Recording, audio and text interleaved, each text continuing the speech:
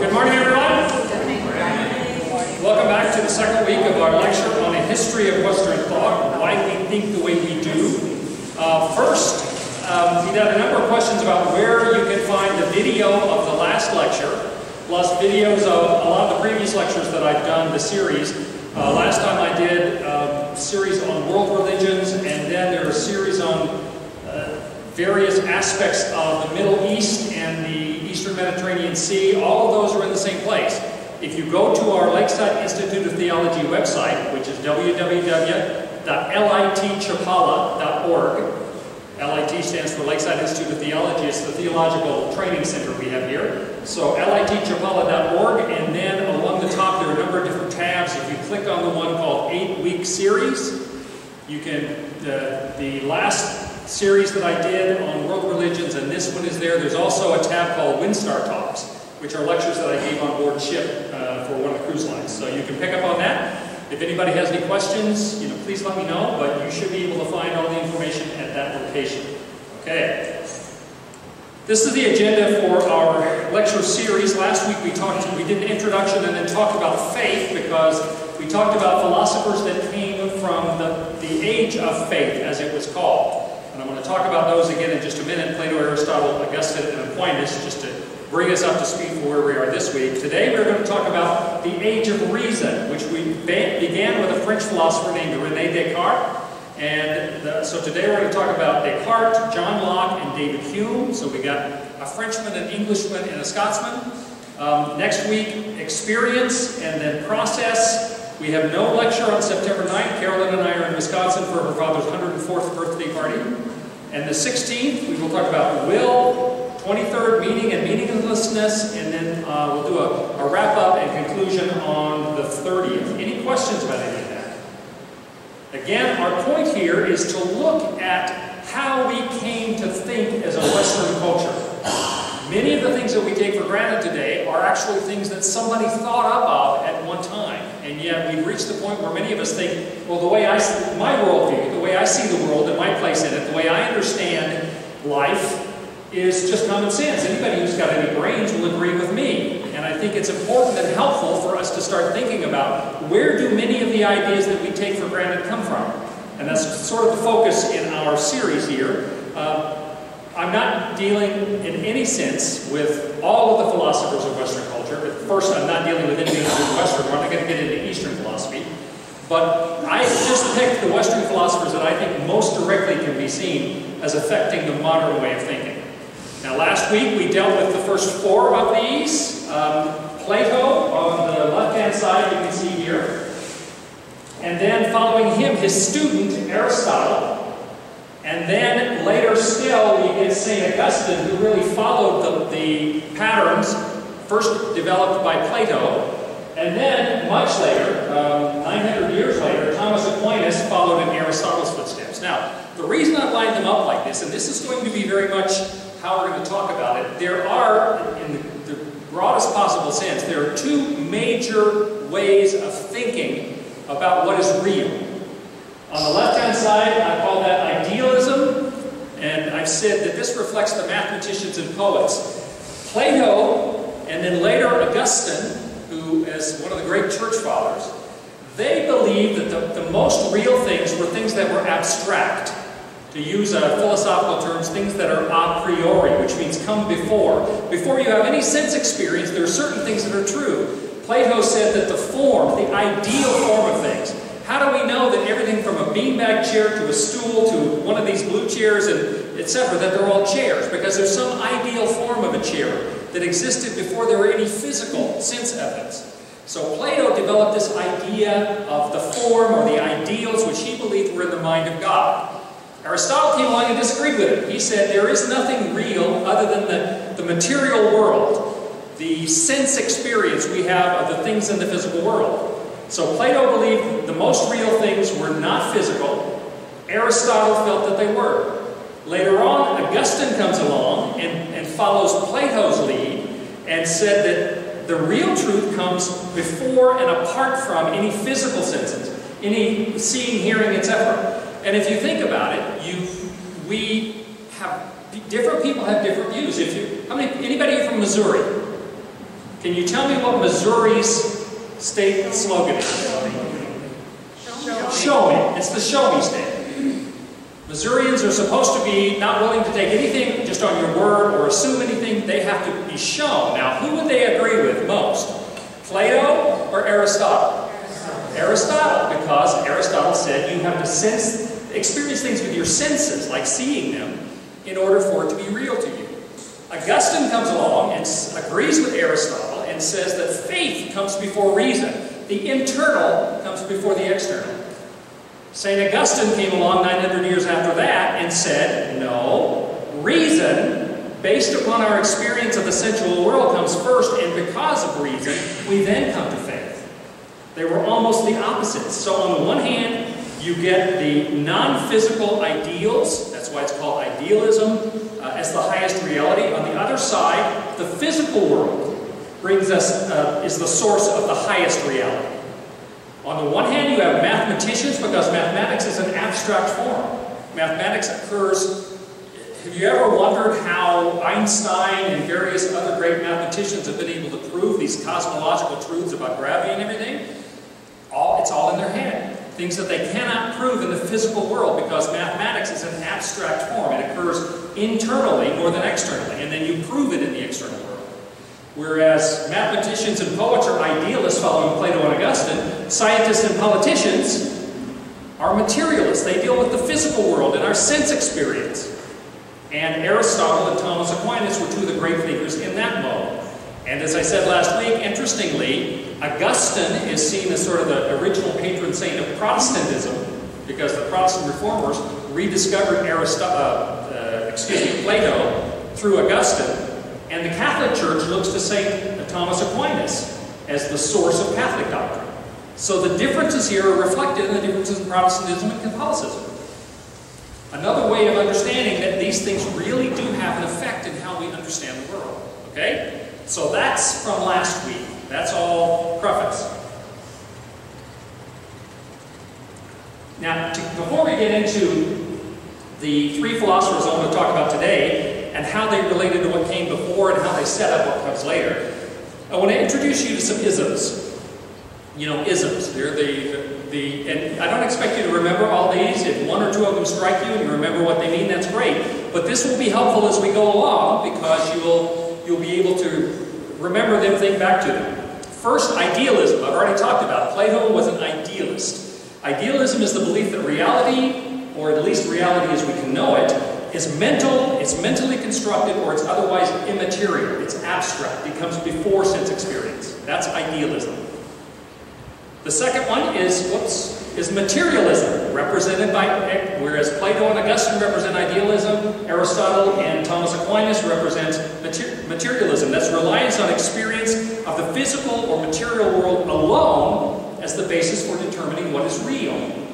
You remember last week I said the three great questions that we have trouble uh, answering anymore to anyone's satisfaction is what is real, what is true, what is good. Idealism and materialism represent the two primary different ways people have decided to interpret what is real. Is it more real what happens inside? Or is it more real what's happening outside? If you come from Missouri, it's what happens outside that's more Show me. I want to see it. I have to experience it with my senses. We then have relativism. Relativism is the belief that truths, especially ethical truths, here we get to the second question what is true? That truths, especially ethical truths, change depending upon the individual or groups holding them. Today, you will find people say, well, that may be true for you, but it's not true for me. That is relativism. That what is true, and that's a very new idea, by the way, for most of human history, the idea was there are certain things that are, that are true. Whether you like it or not, whether you agree with them or not, they're true or they're not true. Believing that that's conditional upon the situation and upon the person thinking about it, that's relativism. The fourth one is subjectivism. Subjectivism is the belief that individual feeling or thought is the ultimate criteria for what is real, true, and good. Well, that may be true for you, but it's not true for me. That's subjectivism. I decide what is true for me. That's, I am the subject. So subjectivism means truth is based upon what I decide it is, not something external to me. Next, we have rationalism. Rationalism is the reliance on reason alone as the basis for establishing truth or value. Doesn't matter what you feel, doesn't matter what you believe, it matters what you think or how you think. Rationalism means the brain is the only appropriate organ for accessing truth. And we have very much gotten to that place in our culture. We, we've gone past the. Now, rationalism is not the same as being rational. Being rational is a good thing. That is making sense of things. But rationalism means that's all you rely on is your reason, rationality. We'll get into some of that later. Next, we have sensualism. That is the persistent and excessive pursuit of sensual or experiential pleasures and interests. We have whole schools of Greek philosophy that, that focused on this. Okay, Epicureanism, for instance, hedonism.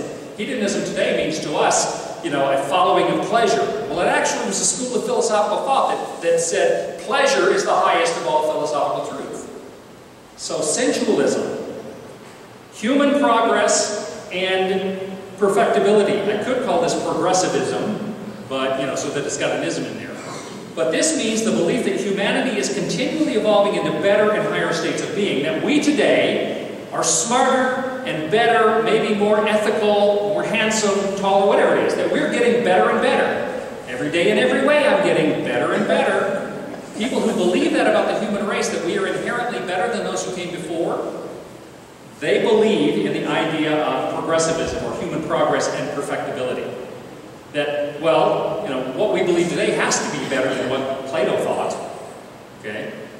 Somebody who believes that isn't, isn't really aware of what they believe, and they certainly haven't read Plato as Whitehead, uh, Alfred North Whitehead said, everything since Plato has simply been a footnote to what he had to say. We then get commercialism. Commercialism is an overemphasis on material goods or economic benefits. He who dies with the most toys wins. Right? And whether we are, will articulate that or not, the idea that the value of my life is based upon how much power I have, how big a position I have, how much money I make, how big a house I have, how fast a car I drive, Folks, that's our culture. And this is a commercialism in terms of a philosophical approach. And then finally, sorry this is cut off again, nihilism. You know, anytime you say nihilism, Friedrich Nietzsche uh, should come to mind. Nihilism is the belief that traditional values and beliefs are unfounded, that existence is senseless and useless. Nihilism is another word for despair. And that is the predominant philosophical attitude over the last 30 years. And we'll talk about that when we get there, okay? I don't expect you to memorize these, but just getting an exposure to them will help you sort of relate to some of the things we're going to talk about. Any questions about that? Were you okay with that? You understand some of the isms? Yes? Well, you can't say one person started it. Um, there, we'll talk about that a little bit today. Nihilism is a product of radical skepticism. And much of radical skepticism actually did begin with one of the philosophers we're going to talk about, the third one, David Hume. So we'll talk about that. It, it got refined under Nietzsche in terms of his specific philosophy, and, late, and then later on under Derrida. The most modern idea, philosophical idea, is that you cannot find, not, not what is true, or is it true? But there is no truth. There is no meaning. There is no purpose. There is no nothing. And this really became part of deconstruction under Jacques Derrida. And we'll talk about him in a few weeks. Okay? All right. Today I want to introduce you to three philosophers. The first one is a Frenchman. We forgive him for that. Because he was a, a great thinker, a great man, René Descartes. He was French. He lived at the end of the 16th and start of the 17th century. And he was a jack of all trades and a master of most of them. He was a mathematician. How many of you all ever had a geometry class? Do you remember the x and y coordinates? x is the horizontal line, y is the vertical line. It's, a, it's intended for you to be able to plot any point in space according to the coordinates. You know, x2, y4 gives you a point in the graph. He came up with that. That's called Cartesian coordinates from Descartes. Cartesian is a Latinized version of Descartes. He was uh, a mathematical genius. He created uh, analytical geometry, and you also remember from back in your school days, analytical geometry is the thing that connects algebra to geometry. Remember quadratic equations? x squared plus y times da da da? so that you then can plot that on a graph, you have to thank him for all those classes you had to sit in about that. So he invented Cartesian coordinates. He was a significant mathematician, especially in geometry. As a scientist, he contributed to physiology, optics, and geometry. As a philosopher, he is considered the founder of modern philosophy. Everything prior to him we consider almost ancient philosophy, including Augustine and Aquinas. But in the end of the 16th and first of the 17th century, uh, Rene Descartes invented modern philosophy. He invented the modern scientific method. And I'll explain how that is in a minute. The way all science is done today started with him. He also started what's considered the Age of Reason, or the modern age. Age of Reason is how this, you know, what today's class is called reason. Because whereas previously we talked about people who lived in the Age of Faith, it was called, this is the Age of Reason, starting with Rene Descartes. He was a trained scholastic. Scholasticism was the high academic programs that Thomas Aquinas was a part of. These, these academics that would write 5,000 page, you know, five volume books about theological issues. Again, arguing things like how many angels can dance on the head of a pin and why do we think that? While he was trained as a scholastic, Descartes rejected that. He was a skeptical Catholic. On the one hand, he believed in God and he, he accepted two different arguments for God. I'll mention in a second. But he also believed that you could explain the existence of the universe in entirely scientific, mechanistic kind of uh, ways. Which means he was the one who laid the groundwork for people to be willing to accept what Darwin says later and what other scientists said later in terms of how the world came to be. He laid the groundwork for that. You begin to see how important Descartes was. Now, some of his key thoughts. He, because he was a mathematician first, he applied inductive science and math principles to physical phenomena and to philosophy. He is perhaps best known for introducing a radical skepticism uh, with cognito ergo sum. Why it's called uh, radical skepticism? Cognito ergo sum means I think, therefore I am. Descartes, in inventing the scientific process, he said, okay, what can I know for sure? And he said, well, I can't be sure that my senses are telling me the truth. I can't even be sure that my mind is telling me the truth about what I perceive. He, and he presents this picture. He says, suppose a powerful, evil, spiritual being is trying to fool me into believing something is real when it's not. Think about the Matrix movie. Did you see the Matrix?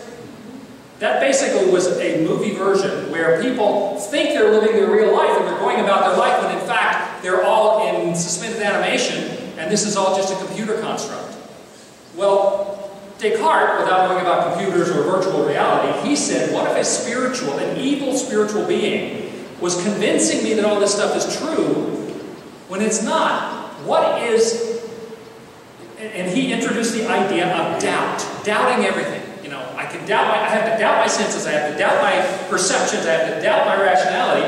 And he kept taking things away from what he could be sure of until he boiled it down to the fact, well, the only thing I absolutely can be sure of and that I can't doubt is that I must exist or I wouldn't be thinking about this. I, I could not ask this question about what is real if I didn't actually exist. So I think cognito, therefore I am, ergo sum. This is Latin, because everybody in scholarly world wrote in Latin back then.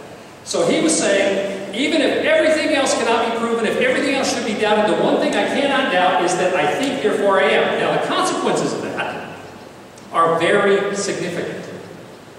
I think, therefore I am. I, do you see the subjectivism? It's not what somebody else thinks, not what somebody else tells me, not what some other source said. I, so there's a radical subjectivism in that. It's all about me.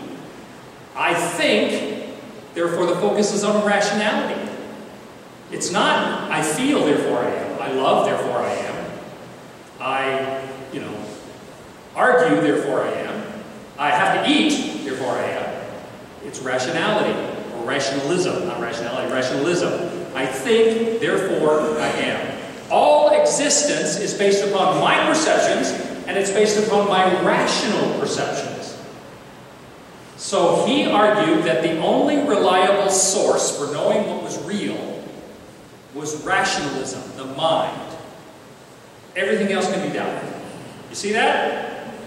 Can you see how the modern, sort of self-absorbed world that we live in in the West began with the idea that it's what I think, and my very existence is dependent upon my, my rationality. This was the platform on which all modern thinking occurred. That's why he is called the father of modern philosophy, uh, the father of modern skeptical thought, or the, the scientific method. Um, because the scientific method today starts out with not assuming anything, right? You doubt everything, and then you do experimentation, and the experiment has to prove something is a fact before you accept it. Descartes is the one who invented that. Doubt everything until you can prove it. And in the case of philosophy, he said the only thing I can prove is I must exist because I'm thinking about existing. In fact, and this may be a little, little bit too much for you, but in, in philosophy and in a number of different academic disciplines, there is what's called the principle of falsification. If I look at that chair, there are a hundred things I can tell you about that chair that, is, that are true. Right? Proving that something is true doesn't really prove the existence of something. It doesn't really prove anything at all because there could be more things that are true and more things are true. But if I can find one thing that's false about that chair, if I say that chair is in Michoacan, it's not here, then one false proof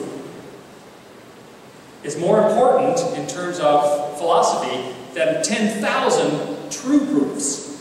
And so, philosophy, since Descartes, has based itself on what's called the principle of falsification. In fact, a lot of science does. If you can find one false about a theorem in science, then that proves it's not true. But you compare that, you can prove any number of things that are true and still not prove anything.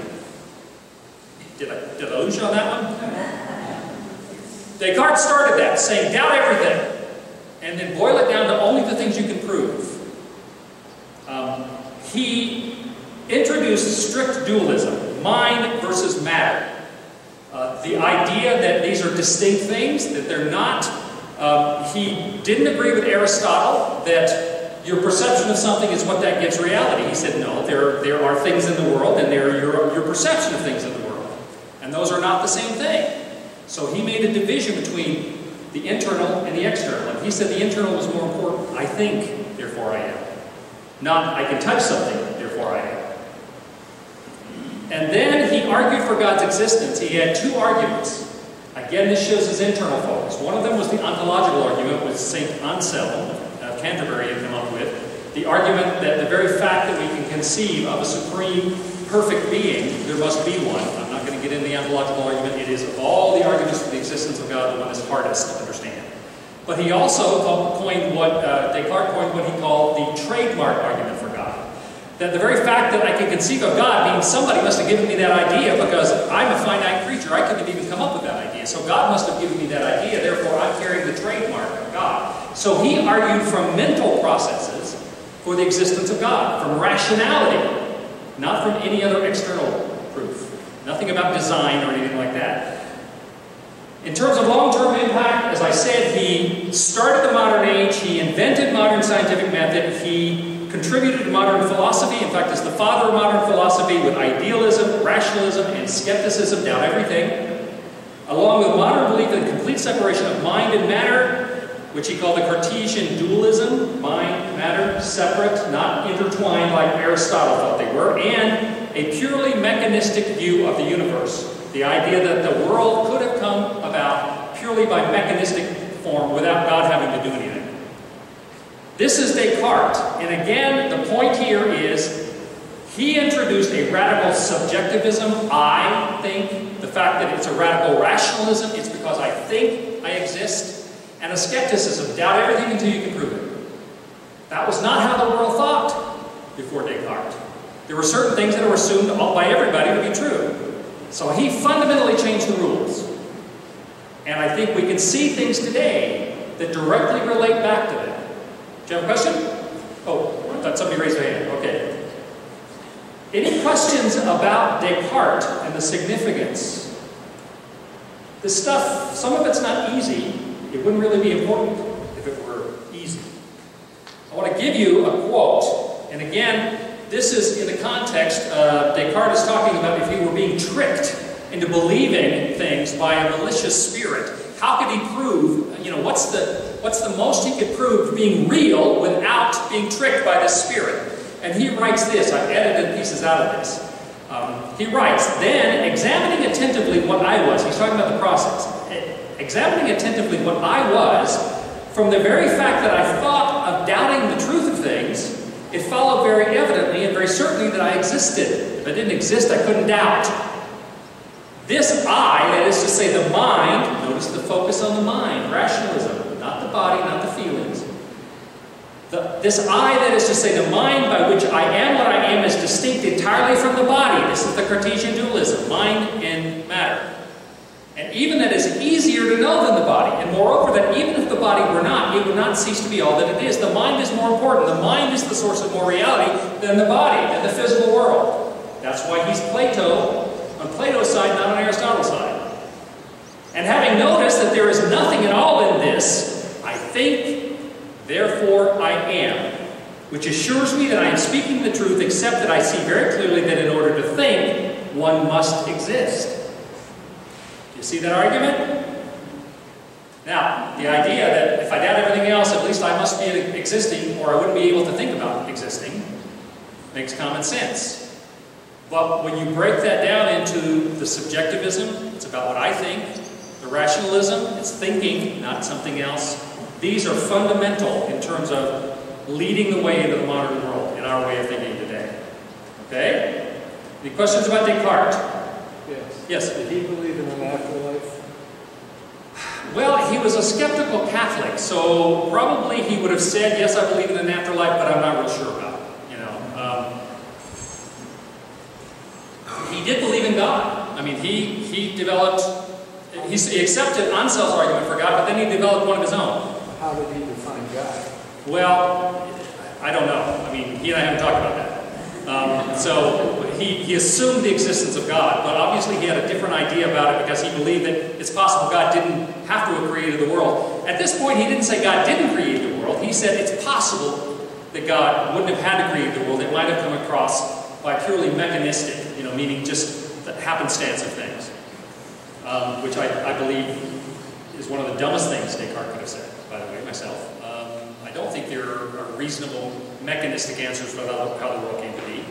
Um, but that's another class. I now want to talk to you about something else, somebody else rather, John Locke, an Englishman. Um, a number of these philosophers clearly, uh, you know, you figure when they make a portrait, they're going to make them look as good as they can, right? Well, some of the, if you think John Locke doesn't look so good in this portrait, wait till you see Hegel.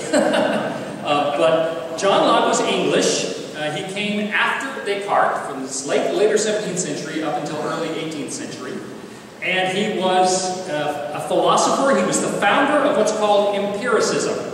Empiricism, which is seen as the basis of the scientific method now, is entirely a focus on the physical world and our sense perception that reality is us perceiving the material or physical world. And that obviously is what science does. It perceives evidence from experimentation of the physical world in creating the scientific method. Now, he also was a political theorist. He wrote a lot about politics. In fact, John Locke was significantly responsible for a lot of the concepts which we sort of take for granted as being part of our Declaration of Independence of the United States and our Constitution. John Locke greatly influenced a number of other people, and it was he who kind of created this idea of a democratic republic that we wrote into the governmental style form that we have in the United States. So we can look to the Englishman John Locke for some of that original political theory. Now, you will notice on several of these people that they were philosophers, but they were also scientists, and they were also politicians. It's a very modern idea that these things are, are separate from one another. In fact, science used to be called natural philosophy. You know, politics was seen as a philosophical pursuit, how to best relate in a society. In fact, did it ever occur to you why it is that today, if you get a terminal degree, meaning the most advanced possible degree in almost any field, what is that degree called? A PhD, a doctor of philosophy. Because virtually all of these things at one point were seen as being versions or brands or parts of the larger philosophical question. And so that's why the older philosophers, you know, back up until the Enlightenment, they were, were philosophers in a pure sense in terms of metaphysics and epistemology and stuff, but they were also scientists and they were also politicians because those things were seen as being interrelated to one another and not distinctive. Okay. Now, some of the key thoughts that John Locke came along, and John Locke specifically responded, almost everybody after Descartes, in some way or another responds to Descartes, just like everybody after Plato responds to Plato. Um, John Locke comes along and disagrees with Descartes. He says the, the point isn't what happens in your mind, the point is what exists in the real world. That it is all based upon sense experience. He said that there are only two aspects of life, and, and uh, David Hume will talk about this later. There are our sense experiences and then what we think about them. But those two things are related, and our thinking about them will never, we can't think about them until we experience them in the physical world. That's why he's an empiricist. Now, it was John Locke that created the idea of the tabula rasa. Anybody in education know what that means? The blank tablet. Whereas Descartes and Augustine and Plato especially would have said that every human being has a priori, before any sense experience, we have basic things that are built in. Being a human being, we have basic things inside. For instance, the ability to perceive God. There's a modern philosophical view of that called Reformed epistemology. But the idea that there are some things that are inherent in our understanding before any sense experience. You know, Plato, well, uh, the, so Locke says no, there is nothing that exists prior to sense experience. We are a blank slate, we are a blank tablet, and then everything we experience in our lives paints or draws or writes on that tablet. And so this obviously became a major influence on education, the philosophy of education. Now, um, knowledge and reality can only be pursued by the experience of the senses. All people are a blank slate at birth, and experience of the physical world is what changes them. He outlined, as I said, uh, theories of political rights and majority rule that became the basis of our Constitution and our Declaration of Independence. And he applied empiricism, this idea of looking at the evidence of what exists in the physical world. He applied it to ethics, politics, religious belief. There was no hard barriers back then. In terms of long-term impact, he accepted Descartes' rationalism, that I have to think about things, that it is what I think about it. But he said you don't start just with thinking. It doesn't start internally, it starts externally. It's not all in your mind, which is what idealism says. It is rather empirical. I believe what I see. Back to that Missouri reference. Show me. He founded uh, later radical skeptical views of existence. We're going to talk about David Hume in a minute. He's the most radical founder. Uh, he was pro, he, pro Aristotle, anti Plato. So he falls on the Aristotle and Aquinas side whereas Descartes fell on the Plato and Augustine side. I'll show you that in a minute. And we can thank him for the foundations that became our U.S. form of government. I'll give you a quote from John Locke, or actually two quotes that are related. First, he said, idea is the object of thinking. Every man being conscious to himself that he thinks, it is past, that, that much he agreed with, with Descartes about. It is past doubt that men have in their minds several ideas, such as are those expressed by the words whiteness, hardness, sweetness, thinking, motion, man, elephant, army, drunkenness, and others. It is in the first place then to be inquired, how does one come by them? What can you say about all those descriptive words he's just listed there? Are they not all some physical characteristic?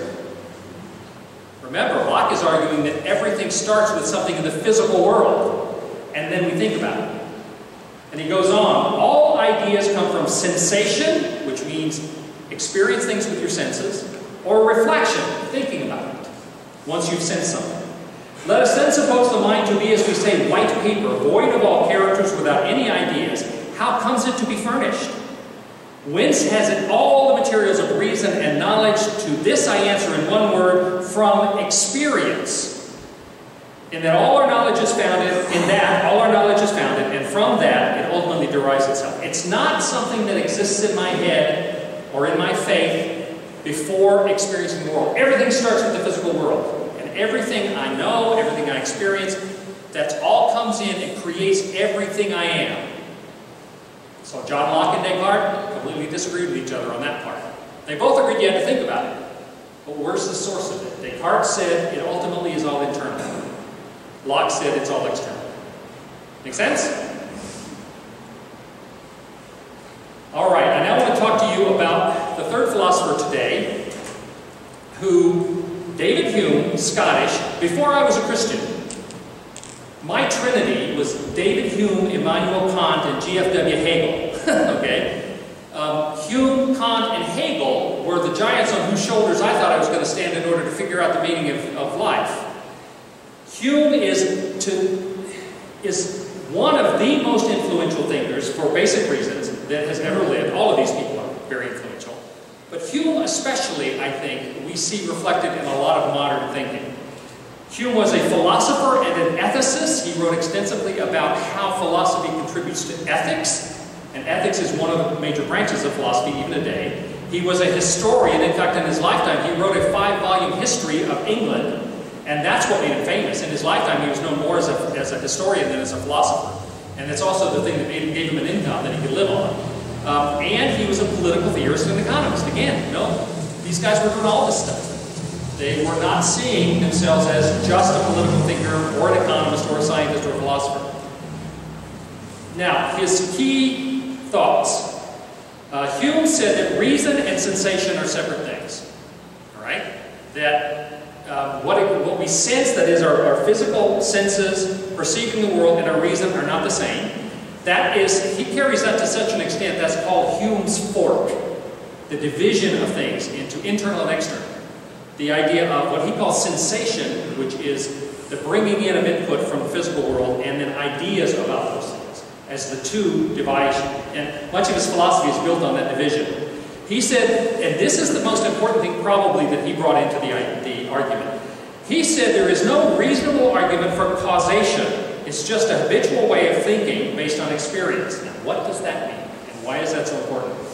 If I walked over there and I flipped on, on or off a light switch, what would happen? The lights would either come on or off, depending on whether they were on or off when I started. That's causation.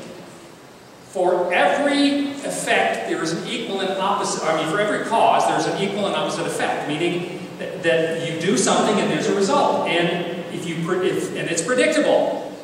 If every time I flipped on a light switch here, a house at Jocotepec might or might not blow up, what would that do to change the way I acted or thought about things? All that I do every day, everything I do is based upon the reliability of causation. If I do something, I know what to expect to happen. What Hume did was he said there is no rational proof or absolute argument that causation is always going to be the same. He said, all you know is what happened last time or all the times before this. There is no philosophical, rational justification to say it's absolutely going to happen that way again next time. Now, even Hume said you couldn't live like that.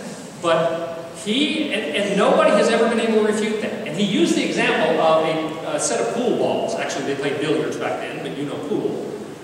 If you hit a pool ball and it strikes another ball in a certain way, it will drive it off in one direction or another, right? And depending upon the spin that's on the ball, etc. Now, if you hit the cue ball in a certain way and it strikes another ball, an object ball, in a certain way, if it's exactly the same as the way it happened last time, then you expect the result to be the same, right? Cause and effect, cause and effect. Hume says you have no proof that that pool ball is not going to shoot straight up in the air, or it's not going to stay absolutely where it is and, and your cue ball is going to bounce off. He said you have a habitual experience of what's going to happen, but you can't prove it philosophically. For that reason, we have to be skeptical about projecting our past experience into any future expectation. Does that make sense? You can't prove that cause and effect is going to happen next time the way it happened last time. That introduced a radical philosophical skepticism is at the core of much of what modern Western thinking is. In fact, one of the things that David Hume did was one of, one of the major branches of philosophy is um, called epistemology. I, and this has been a special interest of mine. I once told a friend of mine, a woman that we, Carolyn and I, my wife and I worked with, that um, I was studying epistemology, and she said, I think my mom had that. women, you'll have to explain to the men what that means later, okay? Anyway, epistemology is not the same as episiotomy. And so, epistemology is the philosophical inquiry into how we can know what is true. And with David Hume, the focus moved away from what we can know toward how we can know. And David Hume introduced a radical skepticism that said you can't really know for sure at all. Which meant every philosopher, every thinker, and ultimately every person after that ended up having this sort of question. Well, do I really know? Can I really know? How do you know? Not what do you know, but how can you know? That's the difference between metaphysics is what is real. Epistemology is how do you know what is real? How do you know what is true, especially? And because David Hume's questioning of whether we can know or not for sure, epistemology has held philosophy captive for 300 years almost. Quite literally, every time somebody would come up, either doing philosophy or doing almost anything, there would be some radical, skeptical follower of David Hume's lurking in the shadows saying, but how do you know? Well, we have it, but how do you know? You know what happened last time, how do you know what's going to happen next time? Can you imagine what that does to the thinking of a culture if we become, without being conscious of it, if we become embedded in this idea that you can never really know anything for sure? Right? This inherent skepticism and doubt, and these are the seeds that eventually led, to some people, to nihilism. The fact you can't know. You can't, you can't know anything for sure. You can't know that something is true. So I give up. Despair. Nihilism. And this was where the seeds of that started. Now, David Hume, by all accounts, was a very gentle and generous man. He wasn't some dark, brooding sort of, uh, you know, uh, bad guy. He took a walk every day at the same time, and everyone said he was the most generous person in greeting people, and he was very happy, and everything was fine. So it's not like this sort of messed him up. It, to a great extent, I think it has seriously messed up a lot of people since then. We'll talk about that as we go along with some of the other philosophers. It's also true that, that whereas Descartes had argued that a human being is identified by being a rational self, Hume said, no, you're not rational. You're just a bundle of perceptions that are all contradictory and all mixed up, and so you're not consistent at all. Human beings aren't consistent as rational beings. They're just, in fact, he said, they, uh, Hume comes along and says, rationality isn't really the point. Yes, you have to think about things, you have ideas that work on the perceptions that you have, but ultimately it is emotion, it is passion that drives people, not rationality. Yes, you have to think about something. The mind is important, but you can't know for sure, and you are more driven by your passion than you are by your mind. And he went so far as to say, for instance, and this affects the ethics, because he was an ethicist as well. He said, the concept of right and wrong is not rational. You can't prove it. You can't whittle away all of the questions until all of the doubts that you might have until you get to the point to say, this is absolutely provable. That right and wrong, he said, was simply convention. It was a pragmatic or a practical attempt for people to create happiness for themselves, living with other people, but there's no philosophical argument that one thing necessarily has to be right and another thing wrong. This led to a lot of other philosophical directions, including in the 20th century, we saw a number of situations where people said, well, if I have the power to do something, that makes it right.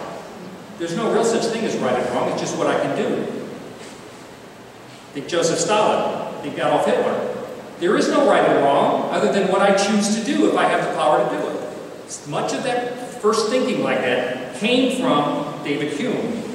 So, in terms of his long-term impact, he introduced radical skepticism into philosophy and epistemology. Remember, epistemology is how do you know? And he basically said, you don't know. And every time somebody since then has said, well, we believe metaphysically this is true, but how do you know? How do you know? How do you know? How can you be sure? How do you know? That is, while Hume brilliant. And one, a huge, you know, one time a huge hero of mine, I now see all the damage that came from that. Um, he laid the foundation for every self-negating ideology that came in the 19th and 20th century, like nihilism, you know, like pragmatism, which basically says if it works, it must be right. Um, and some of these words, like pragmatism, you may think pragmatism just means being practical, but there is a philosophical school called pragmatism. We're going to talk about William James later on. He did, like John Locke, he contributed to a lot of economic theory. He influenced Adam Smith, another Scotsman, and influenced the development of modern capitalism. So, like John Locke, David Hume had a significant influence on how we understand Western culture today in Western Europe and in the United States. So, and, and, by the way, when he talked about the fact that there are sensations and then there are ideas, and those two things are separate, he said, uh, he gave the, the analogy of the unicorn. Where in the world did we come up with the idea of a unicorn? If everything is just sensation or then thinking about that, nobody's ever really seen a unicorn, although I think I did once in Australia. I'll tell you that story later.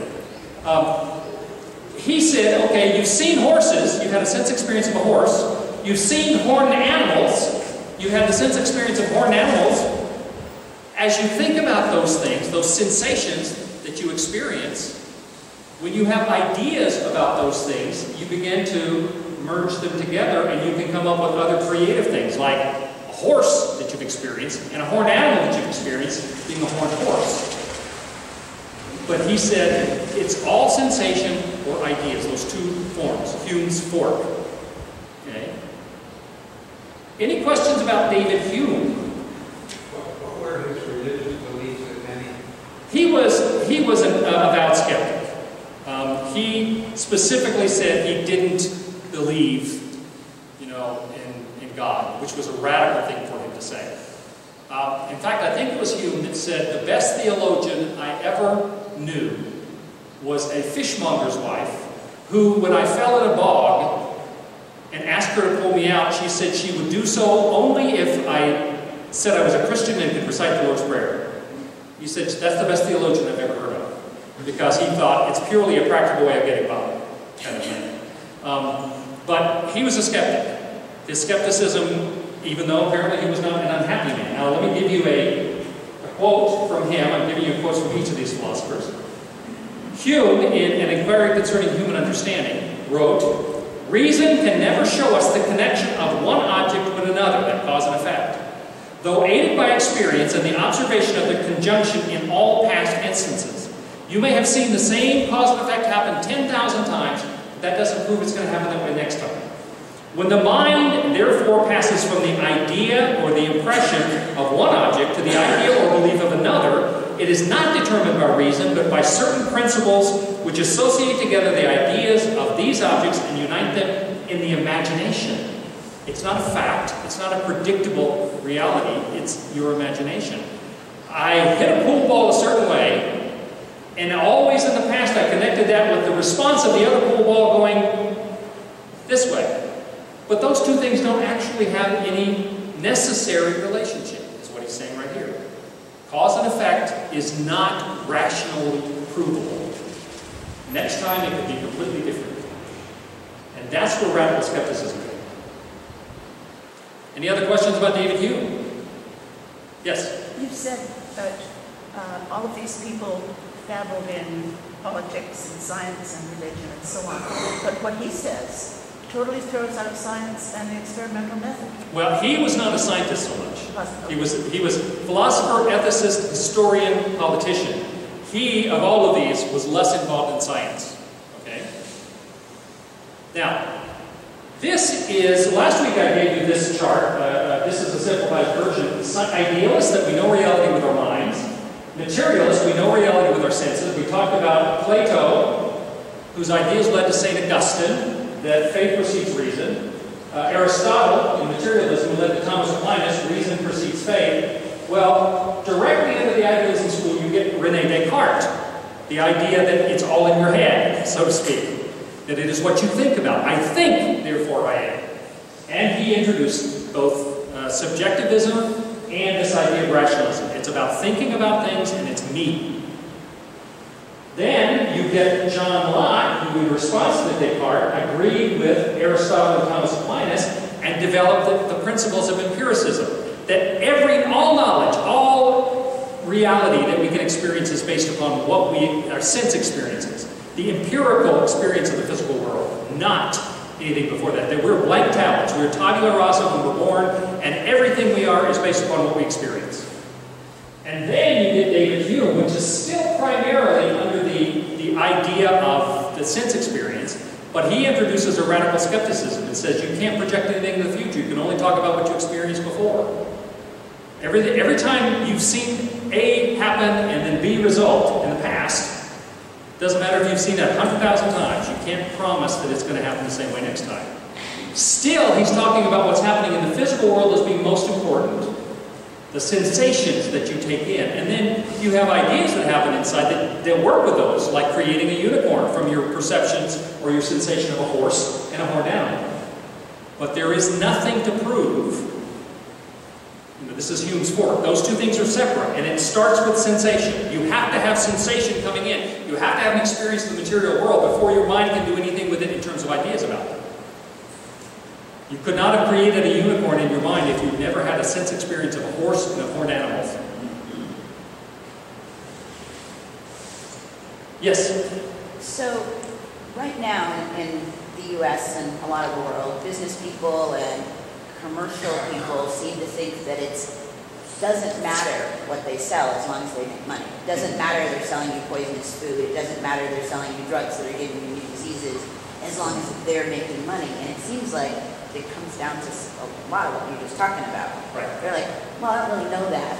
I'm not. I'm going to pretend that I don't know that Right. it gives you this disease as long as I make money.